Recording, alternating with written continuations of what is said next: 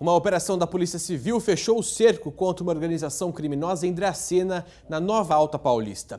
15 pessoas foram presas acusadas de participação em uma quadrilha especializada em tráfico de drogas.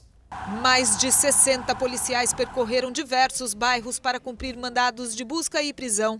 Trabalho que terminou com a prisão de nove homens e seis mulheres todos acusados de associação e tráfico de drogas e que atuavam em uma organização criminosa que surpreendeu a polícia pela estrutura. Já havia uma distribuição de tarefas pré-ordenada, um dos principais mandantes já havia sido preso quando homiziava em sua residência aproximadamente 14 quilos de maconha, isso há algum, há algum tempo atrás, há um pouco mais de um ano atrás, e os demais integrantes promoviam a comercialização de drogas, ao passo que outros realizavam a, a, entrega dos entorpecentes comercializados por esse grupo. O grupo já era investigado desde 2012 e parte dele já tinha sido preso. De acordo com a polícia, entre as prisões de hoje estão alguns dos principais chefes da quadrilha.